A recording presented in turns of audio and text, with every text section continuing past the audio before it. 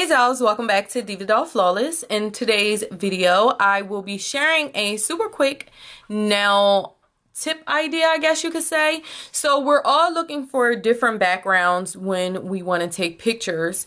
And I was at the Home Depot with my husband. We have been in Home Depot a lot. Well, we're always in Home Depot getting stuff. And um, they had this, which you see here. This is a piece of a floor sample and I was just standing there and I'm looking at them. I'm like, wait a minute, I could use them as backgrounds for pictures of either nail tips or if I do my own nails or someone else's nails. This would be great for those really good close-up shots just to have a different background um, and they don't take up a lot of space. So this is one of the first floor samples. And then we have this one. Now that one. And hopefully you can see the different grains inside of these floor samples. But they're like really, really cool.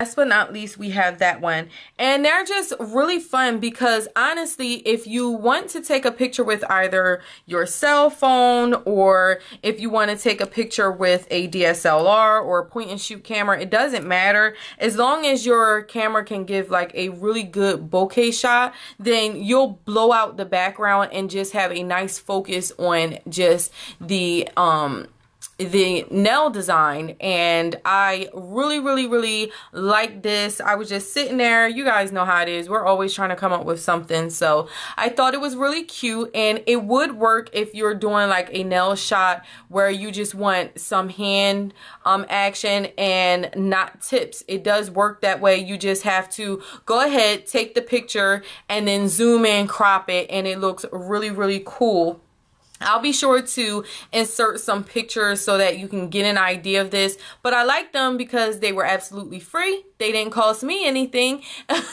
because they're just small square floor samples and they don't take up a ton of space and you can get a lot of different um, shots. So it would be really cool if you can get maybe like some wallpaper samples.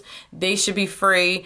Um, you could even do it with the paint cards that you get for free at Home Depot. So there's a lot of different ways to have different backgrounds for nail shots if you wanted to without really having to cost anything. Just go to Home Depot and look around and start getting some ideas like I did. so I hope you all enjoyed this quick tip. And if you did, please be sure to thumbs the video up because it does help me. And subscribe if you have not. I would love to have you. And as always, and until next time, have a greatest day, dolls. Smooches. Mwah. Bye.